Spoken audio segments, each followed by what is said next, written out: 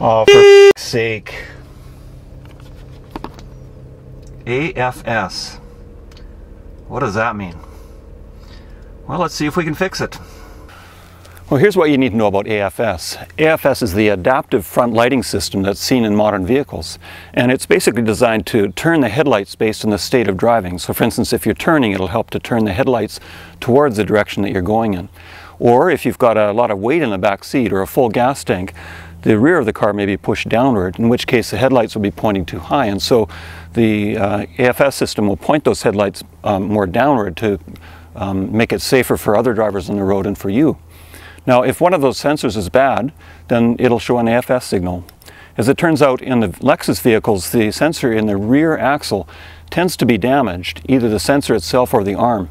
Let's have a look at what we found in this vehicle. And let's have a look at this thing.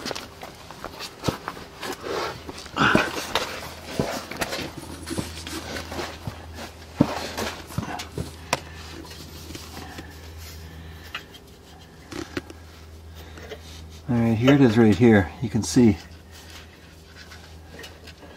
that bolt's broken off. You can see it's the bolt has just snapped right off there. Rather than replacing the part, I may be able just to weld a new one.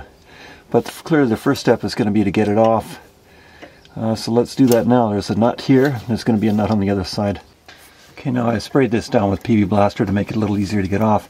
The whole thing was frozen. I think that may be part of the issue is that when the wheel bounces up and down, this part wasn't able to swing. And because it wasn't able to rotate it, put torsional forces onto the uh, bolt which snapped it off. Uh, in any case, uh, we'll just spin this off. It seems to be coming off quite easily. Okay, I'm laying down in front of the tire. I'm doing this without having it up on the jack stands, which makes it easier. Now, I thought I was going to have to take off that whole arm there, but uh, looks like I just need to undo this uh, nut here. So I sprayed it down also with PB Blaster, and uh, I believe this will be 10 millimeter. We'll uh, take this end off, and then we'll uh, get uh, together on the bench. So let's look at this a little more closely. This is where it's snapped off right there. And this is the end that's attached to the frame, the axle, and this is the end that's attached more or less to the wheel. And um, it's an interesting system here. Let's look at this a little more closely. Now you see it's like a ball and socket joint. It's like a shoulder joint, a ball and socket, and this one rotates freely uh, before I put any lubrication in it at all. But if you look at this one here, this one is still frozen solid. You see that? And so um, I'm faced with an option. Do I um, try and free this up with some lubrication and see if I can get it moving again, or do I just replace the part? Of course, that depends on how much the part is worth. So I'm going to make inquiry about that now. Alright, well I've made attempt to try and buy this part. My dealer offered to sell it to me for $750, including the sensor, but he wouldn't, he's not willing to sell it to me uh, by itself. I've checked the local auto wrecker and they don't have any, and the nearest one is over an hour's drive away, so it ends up being a long ways. Now, what I have here is two things. One is I've got a broken off bolt in there, and the second is that this shoulder joint is frozen. You see how this shoulder joint here it's nice and mobile. Alright, here's what I've done so far. Um, using a 10 millimeter six pointed box end wrench, I'm rotating this off. And I'm getting somewhere on this point. It's the left hand thread, so clockwise rotation lets it come out.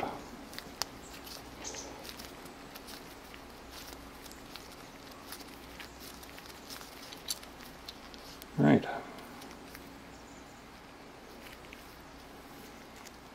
Now on this side, I've uh, everted the seal and I've worked it around with the same 10 millimeter wrench and it's moving but very rusty inside. I really don't like the look of it.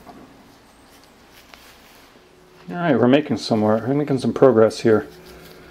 I've used about a half a can of penetrating oil and uh, I've got this limbered up and better. You see there. It's not perfect, but it's mobile anyway. I need to continue washing it out, eventually grease it up, and put it back together again. Now this is the good side, and I want to weld that this fragment of bolt to that there. But I don't want to overheat my seal, so I'm going to unscrew it here so that I've got uh, no rubber that can get damaged when uh, I heat it up with a TIG welder.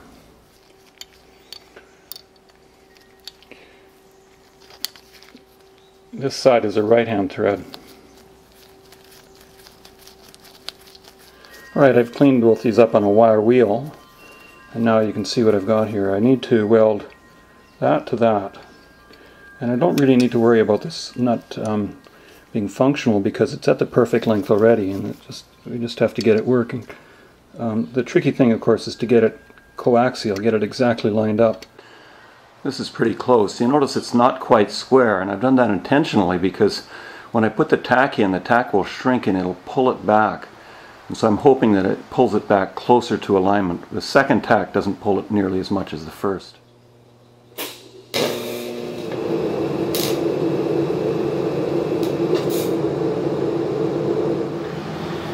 Alright, here's what we got so far. I've tacked it on one side and you can see that I've um, pulled it over just a little bit too much. And so now I need to try and bend that back without breaking the tack weld I've made. So that's always a little bit tricky. It doesn't have to be perfect, but I'd like to be fairly close.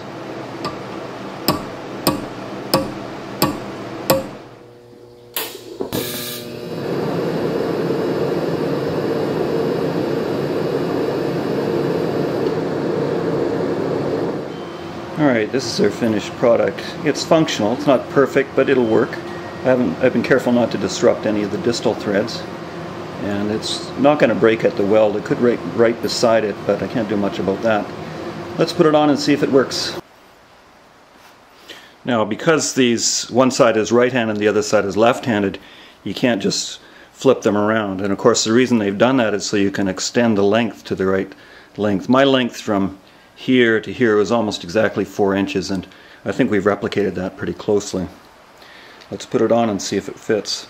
Uh, now the other thing is I'm going to lube these uh, shoulder joints with grease. Ideally it'd be nice if there were um, grease nipples on them, but I don't feel uh, in the mood to be drilling holes and tapping holes for grease nipples. So I'm just going to grease the snot out of this and um, try and protect it as best I can, put the seal back together as best I can, and then put it back on the car.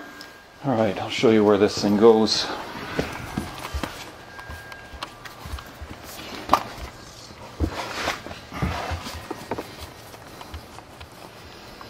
Alright, the one part bolts in there and the other part bolts in here and that that's the sensor right there and uh, I'm gonna have to move the camera out of the way because there's no room for a tripod here but these two are spaced apart and so the part that we're going to put in here has got kind of an L shape to it. Alright, here it is bolted into place. I'm still going to lubricate this uh, one last final time and I'm thinking about the option of spray painting it just to try and reduce the chance of rust happening because rust tends to affect welded uh, areas preferentially. Now I should mention that when you tighten these up or undo them, you got to hold them from behind, otherwise they just spin.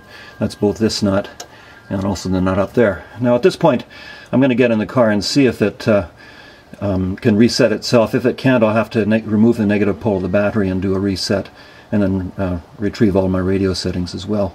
Now one of the things about recently welded steel is it's very prone to rust. So I'm going to spray on a little bit of anti-rust paint over the recently welded areas to try and reduce the speed that that happens.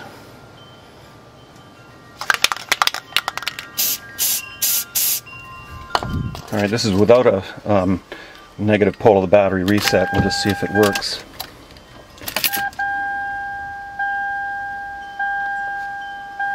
Huh door is open. That light is off. Well, we're done. Last night I took the vehicle out and I put the AFS through its maneuvers and it seems to be working completely normally. Say, uh, if this video helped you out and you want to see more of them, then hit like or subscribe or leave a comment. I'd love to hear what others say. Thanks for watching.